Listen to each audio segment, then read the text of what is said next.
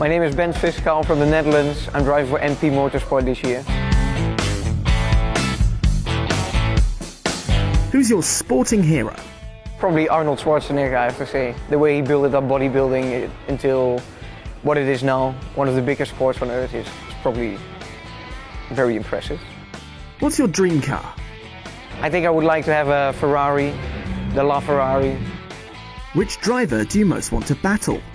Definitely uh, David, uh, David Schumacher, yeah, for sure. When did you start racing? I started racing when I was five. That was my first go-kart and I think my first race was when I was probably eight years old or something. What's been the best race of your career?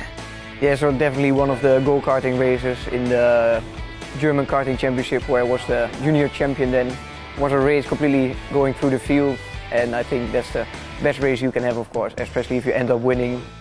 Favorite video game? F1 of course, don't play it anymore but uh, nowadays it's iRacing of course, it's a bit more professional but uh, yeah I used to play a lot of Call of Duty as well. What music do you like?